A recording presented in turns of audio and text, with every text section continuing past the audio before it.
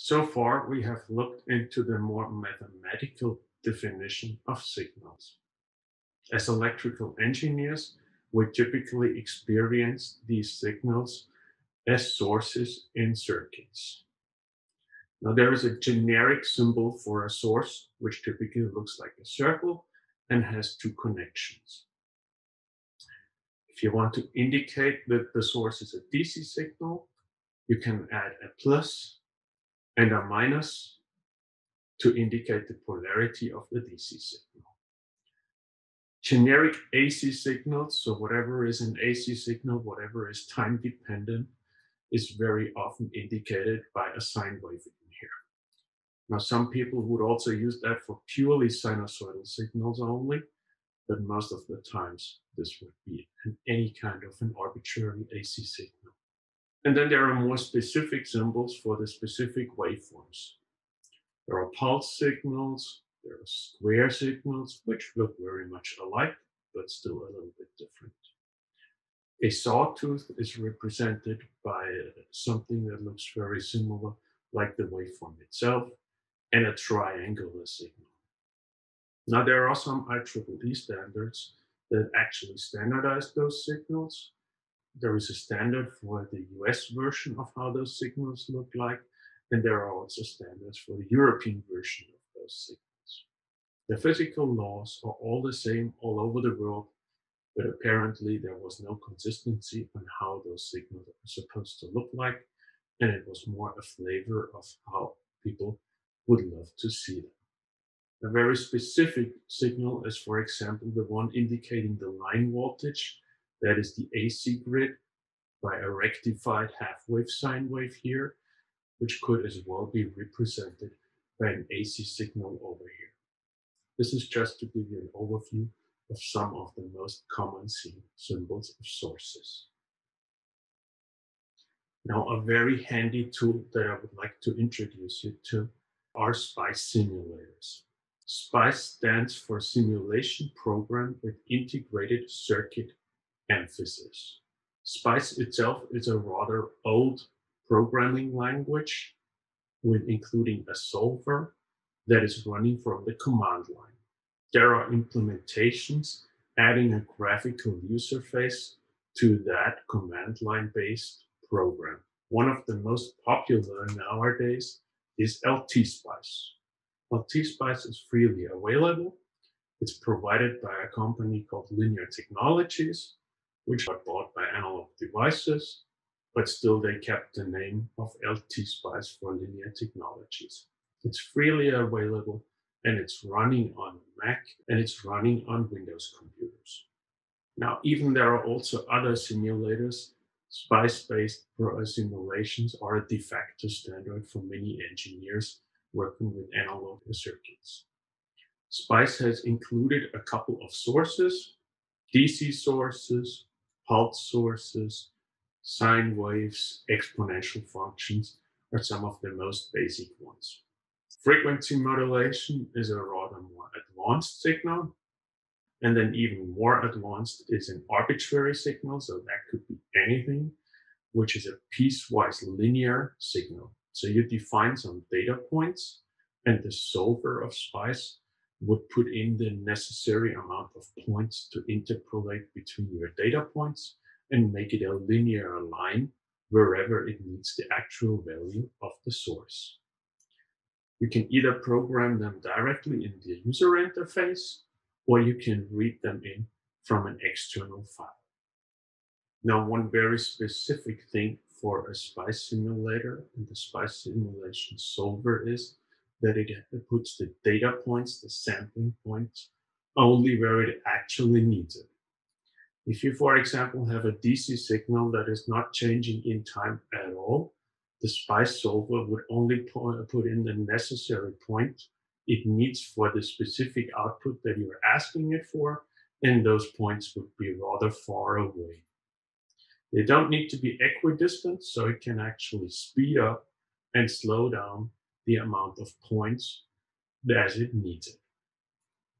Looking at another example of a waveform, for example, this blue signal here, which could represent the transition of a digital signal from zero to one or from low to high, the SPICE simulator would put in some points wherever it needs it.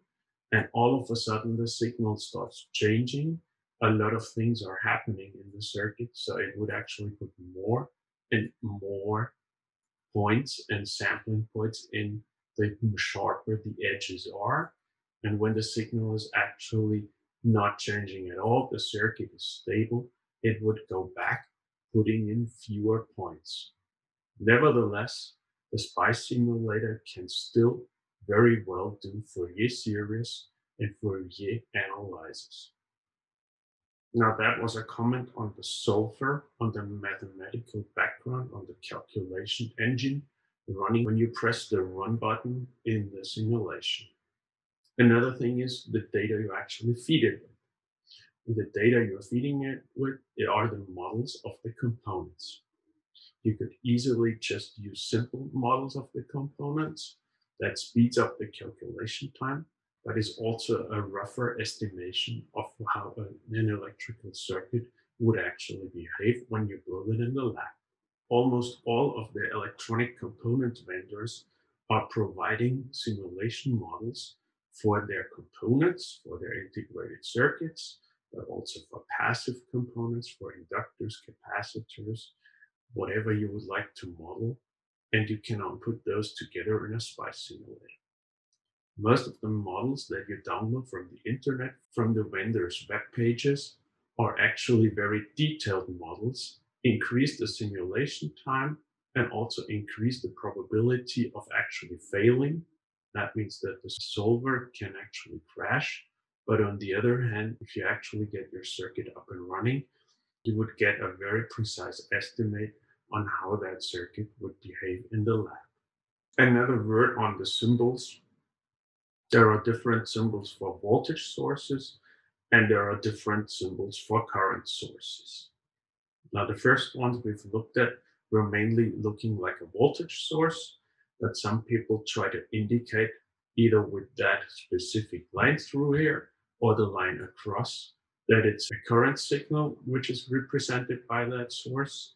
Some others use arrows like this one here to represent the current or a European version of a current source representation are the two circles here. And then there are specific examples of voltage sources like a battery which can be represented by its positive pole and its negative pole, or a photovoltaic source, which is a, a representing current source, looking like, like this. Now, a specific category of sources are dependent sources. They could be dependent on other voltage signals or current signals, so electrical signals, but they could also be dependent on other physical parameters. First of all, you would indicate that a source is dependent either by drawing the signal rectangular, like a generic source here. Instead of drawing the signal round, you would draw it as a rectangular, as a square, or in other cases, and this is the same meaning, you would put an arrow through it, like in this case here. And if you want to indicate that it is actually a current source that is controlled, you either square the current symbol, like in this case here, or in that case. Now, a current source is always identified by a line cutting the wires. If this is the wires here, you have one terminal and the other terminal. And a current source indicates that you never can leave a current source open. So you're not allowed to cut the wire, you always have to at least short it or put an impedance on. Whereas in a voltage source, like a battery, for example, which you're not supposed to short, so you're not supposed to connect the two terminals of a voltage with a wire. This is the way of remembering whether it's a voltage or a current source with the horizontal line, as in the current case, or with the vertical line in the voltage case. This is another notation using the arrow inside the symbol to indicate that it's a current source, and then the arrow going through the symbol indicating that we're speaking about a dependent source. or this is a DC voltage source indicated by the polarity of it, and then indicating that it's a dependent source by drawing the symbol squared. Now the parameter a dependent source is depending on could be either another electrical signal like a voltage or a current, or it could be any other physical parameter. For example, it could be the amount of photons hitting a surface, as in the case of photovoltaic cell, a solar cell. Then you would put the solar irradiation as the controlling parameter, or it could be, for example, the temperature. Then you would put a factor like theta here, and you can write that right next to the arrow or right next to the square, which signal the source is actually depending on. Now, SPICE simulators have built-in control sources. They have dependent voltage sources built in, and they have dependent current sources built in. And then the specific ones, the voltage sources, which are actually dependent on another voltage, are represented by the letter E. So the component is just simply called an E generator. Or if they are current dependent, then it's an H component you are looking for. Like R is a resistor, V is a voltage, I is a current. A voltage dependent voltage source is the letter E. A current dependent voltage source is represented by the letter H.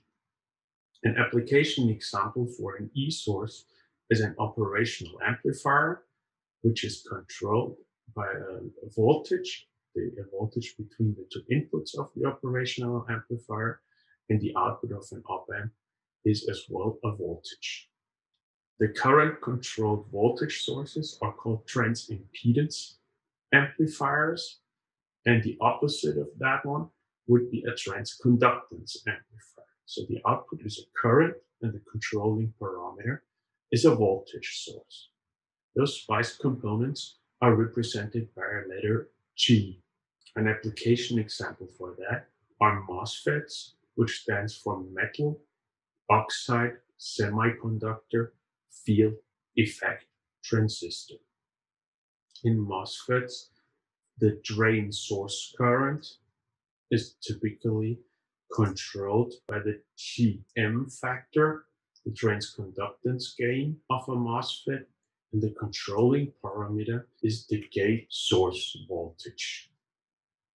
Current controlled current sources are in SPICE represented by the letter F, and a typical application of that is a bipolar transistor, a bipolar junction transistor, that's what the J stands for here. And the equation for a bipolar transistor is defined as the collector emitter current being controlled by a factor beta, the current gain, times the base current of that exact same transistor.